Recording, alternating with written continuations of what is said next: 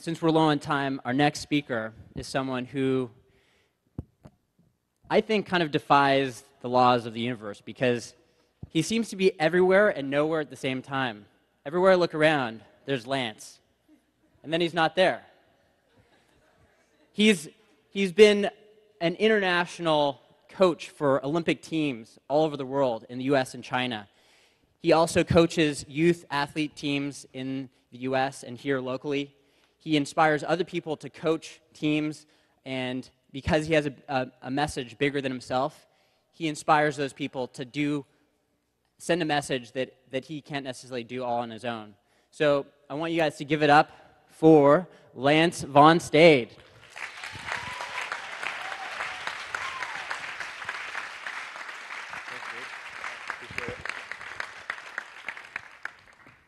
Hello. Have to, which way do I point this guy? Right over here? That direction? Great. Thank you guys for coming today. My name is Lance Von Stade, and I'm a chiropractor. Today I'm going to tell you how chiropractic can not only improve the performance of your youth athlete, but also help them to build lifelong habits that forestall chronic illness and support their well being.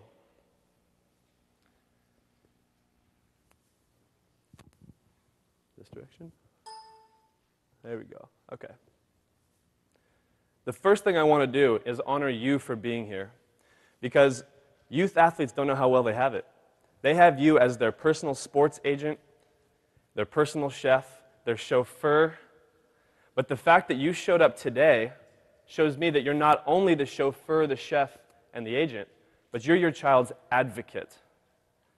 And being a child's advocate for well being is something you and I have in common. See, from my experience in sports, I've seen a huge gap between what we want our child to get out of sports. I'm sorry, from what we expect our child to get out of sports and what we want. What we want from sports and what we actually get. Because what we want and expect our child to get out of sports is lifelong habits discipline, communication, all the things that will help them be good people for the rest of their lives. And the Academy, the American Academy of Pediatrics, has a committee on sports medicine and fitness that says that enrolling your child in physical activity is the initial step that builds lifelong habits that forestall chronic illness. And that's great, but that's the initial step. What happens after that? And that is what I'm here to tell you today. Chiropractic closes the gap. If you only focus on one aspect of an athlete and you don't take in the consideration of the entire body, you will be missing links and filling the gap with emptiness. I told you I was a chiropractor. I didn't yet tell you that I'm also a certified athletic trainer and a certified strength and conditioning specialist. I've worked for almost a decade now in this field at the international level. I was part of a team that was back to back world championships for water polo. I lived in Beijing and trained the Olympic judo team for Team China. This is my athlete on the right, Xu Li Li. She got a silver medal in London. And do you know what it means to get a silver medal in China? Nothing. If it's not gold, it's garbage. That's the saying. I don't know if that's a direct translation, but It's a win at all costs mentality. And I'm not just talking about China, I'm talking about sports. That's the gap. And when I say win at all costs, you may think, what is the cost? What does it cost if it's winning first? What you sacrifice as an athlete, if you don't take into consideration the whole human, is the athlete's well being. And there are three components to an athlete's well being and sports does a great job at covering the physical. Sports performance, medical doctors, PTs, chiropractors, everyone's all over that. But they miss the mental and spiritual aspects of an athlete. And not just an athlete, but a human being. For some reason, when a human being becomes an athlete, they're encouraged to drop everything else and just get stronger and just get faster and win. Forget all the other foo foo stuff. And we'll talk later why that's not a good idea.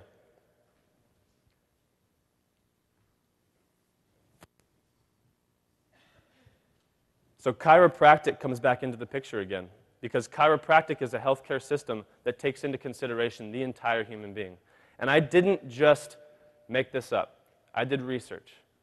In fact, I used one of the most credible sources in the human body there is. It's something that chiropractic students and chiropractors all reference. Medical students, medical practitioners always reference this, and it's Gray's Anatomy. no, no, no. Gray's Anatomy.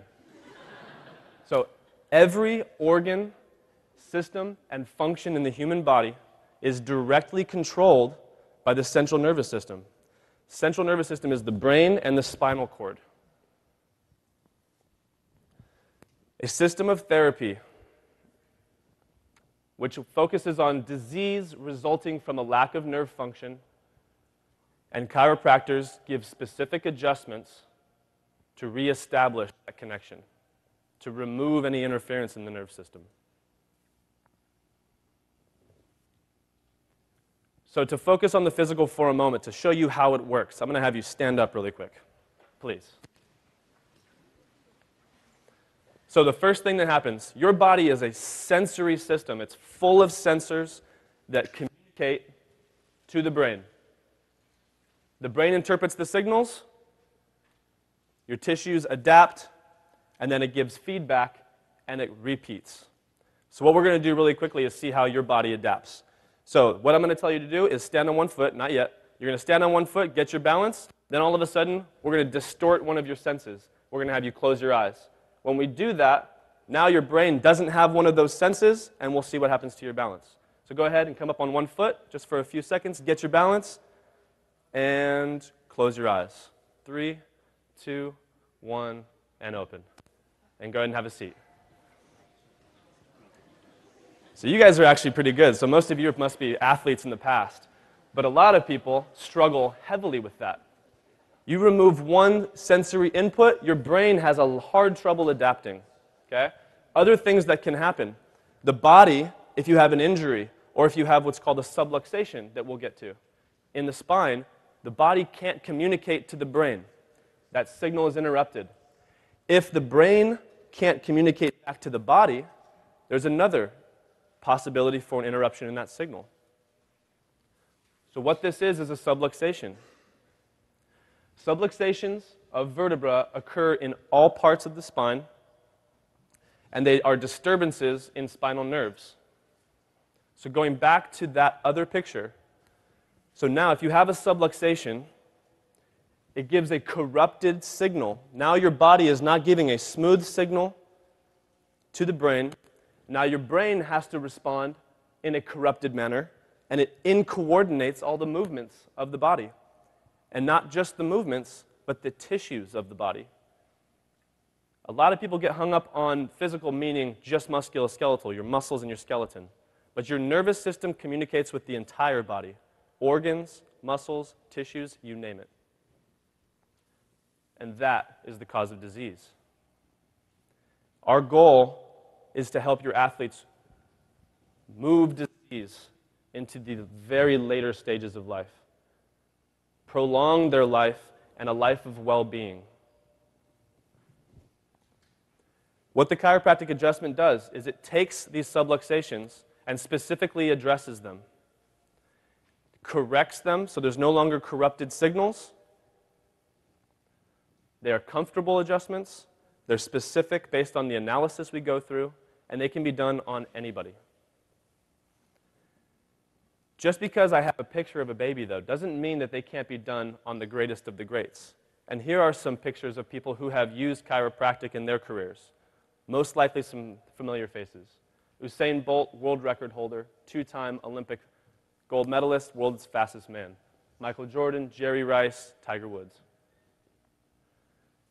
So the big picture is chiropractic doesn't just address the sport, it addresses the human being that's participating in the sport. Now, we've talked about the physical. Now, to talk a little bit about the spiritual. What is the spiritual aspect? I'm talking about being something, being connected to something greater than yourself, being a part of a bigger picture.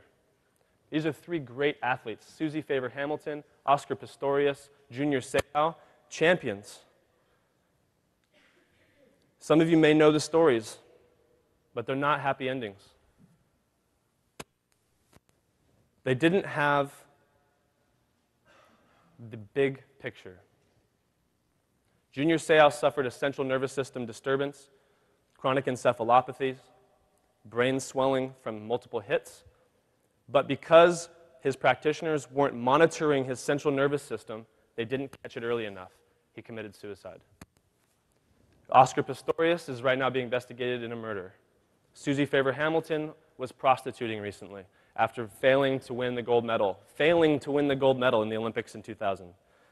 This is not where we want our children to end up. And this is where chiropractic comes in, takes care of the entire person, addresses these spiritual components, helps them get attached to themselves as an individual and attached to something greater than themselves.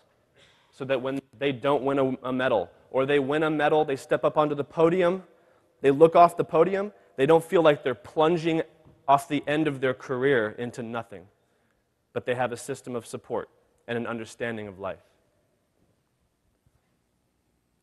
What's left after sport, when you take care of it, is meaning, purpose, and a connection to something greater than yourself. The mental components of a human being that we try to adapt to are positive emotion, engagement, relationships, and accomplishment.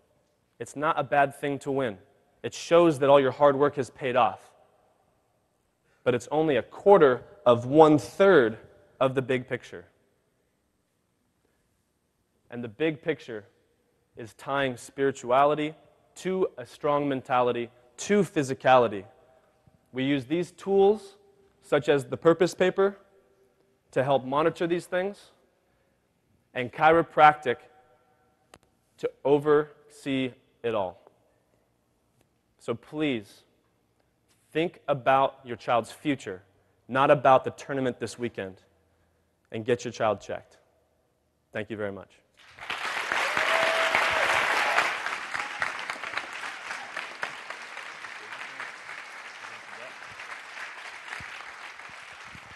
All right. Awesome. Thank you, Lance.